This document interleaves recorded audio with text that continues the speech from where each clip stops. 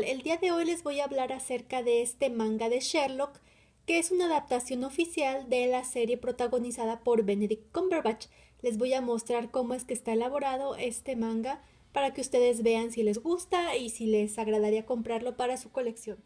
Comenzaré por mostrarles cómo está elaborado este manga.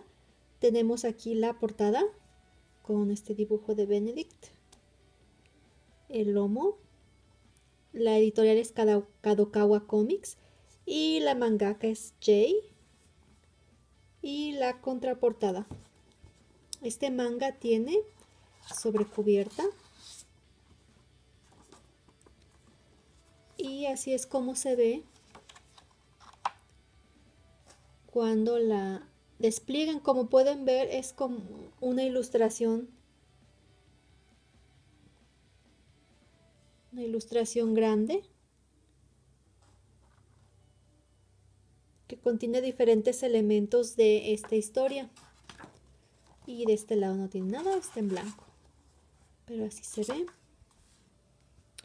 Y en la portada de lo que ya es el manga, tenemos esta otra ilustración de Watson. Igualmente aquí los créditos. Y así. Ahora, cuando se abre el manga, comienza con estas ilustraciones a color que están este, impresas en un papel fino, brillante, se puede ver. Es un papel fino tipo revista. Luego aquí tenemos esta otra ilustración con Sherlock y Watson, o sea, Benedict y Martin Freeman. Y esta otra página. Vemos que en sí nada más a color tiene esta, esta y esta que está el índice, por decirse así. Este manga es la adaptación de el capítulo de El Gran Juego, que es donde ya aparece Moriarty y les voy a mostrar un poco de adentro cómo está el diseño para que ustedes lo aprecien. Es una adaptación bastante fiel. Si a ustedes les gusta la serie, se van a dar cuenta de que sí la adaptaron bastante bien porque sigue este de manera bastante fiel las diferentes este, situaciones que ocurren en el capítulo.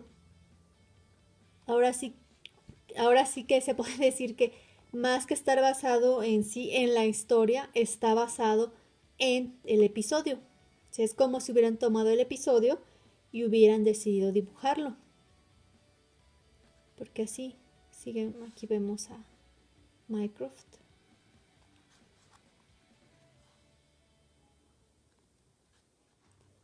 Me pareció que es una bastante buena adaptación. El dibujo es este bastante bueno y se conserva bastante el parecido con los actores. Digamos que es como una mezcla entre manga y cómic, más o menos.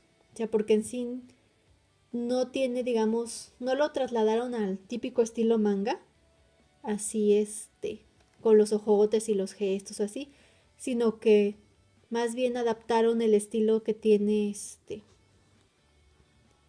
que tienen los actores para llevarlo a este manga. Y me pareció que fue una decisión bastante acertada porque si lo hubieran hecho así totalmente tipo manga, como que podría haber sido cualquier historia de Sherlock, pero en este caso como se parecen bastante los actores, este sí, sí respeta bastante su, parecido, entonces sí uno siente que está viendo, pues eso, o sea, los actores, porque es básicamente el atractivo de, este, por ejemplo, aquí tenemos ya aquí a Moriarty, es en sí el atractivo de, de esta adaptación, o sea, tener en formato este de, de manga, los capítulos que vieron ustedes con estos actores ingleses. Y me gusta sobre todo el diseño que le pusieron a, a Benedict.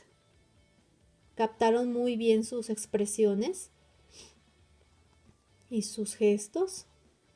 Sí. O uno, uno reconoce que es él. Lo hicieron bastante bien. De John como que no me convence tanto. Se ve sea, sí se aprecia que es Martin Freeman, pero pues no sé, como que No me gustó tanto cómo se ve, pero lo que es Benedict, sí, sí me parece que, que hizo la, la mangaka un, un excelente trabajo a, al recrearlo en formato manga como aquí.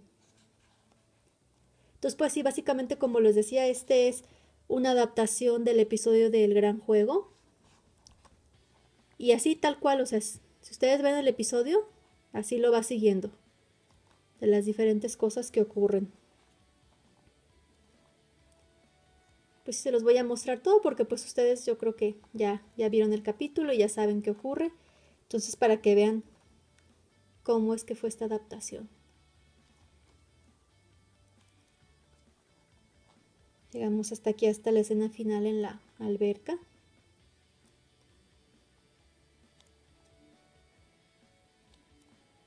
Donde aquí ya hace su entrada triunfal como villano Moriarty.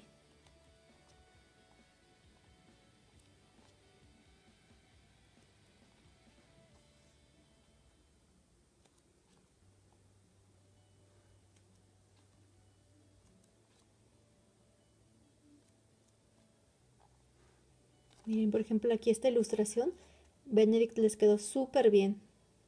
Y también este Moriarty. Muy, muy bien. Y fin. Así que termina así, igual que, que como el episodio. Hasta aquí. Y fin. Y, y después de que concluye, está esta página luego este boceto, luego los créditos. Y esta es publicidad de los otros mangas que hay. También están, aquí se pueden ver la de Estudio en Rosa y El Banquero Ciego. También estos dos episodios han adaptado. Entonces, total, están estos tres, tres diferentes mangas que hay de, de esta adaptación de Sherlock. Si ustedes son fans de Benedict Cumberbatch, y de esta adaptación de Sherlock, sí, yo les recomiendo mucho este manga. Me pareció que hicieron un gran trabajo en la adaptación de los episodios. Y también este, bueno, este manga está completamente en japonés. Y eh, pues es como un manga normal, o sea, este papel es del tipo típico papel porosito. No es, digamos, una edición de colección así como súper fina, no, también es de pasta blanda. Como pueden ver, es pasta blanda. Pero aún así sí, sí es un, muy buen un muy buen manga si ustedes son fans. Creo que sí no debe faltar en su colección. Y estaba viendo en internet que hay una editorial de Estados Unidos, creo que es Titan Comics, Titan Comics, que vas a publicar también el manga. Entonces tal vez les, les convendría esperar a que esté en inglés por si este, pues ahora sí que quieren leerlo, aunque les digo, como es una adaptación muy fiel, si ustedes son fans, pues ya vieron los episodios, ya saben lo que ocurre, entonces, este, pues no, no necesitan tanto conocer el diálogo tal cual, pero si ustedes prefieren, digamos, poder leer en sí los diálogos, pues también les convendría esperarse a que lo publiquen en inglés para ahora sí poder leerlo. Entonces sí, este en conclusión puedo decir que es una muy buena adaptación de los episodios de Sherlock con Benedict Cumberbatch. Si ustedes son fans, no puede faltar en su colección. Es un manga muy bien elaborado, con muy buen dibujo y una buena edición. Es una edición normal, pero es una buena edición de los mangas. Entonces yo sí se lo recomiendo mucho. Que lo compren si son fans de Benedict y de Sherlock. Bueno, eso sería todo. Espero que les haya gustado y les haya sido de utilidad. Hasta pronto.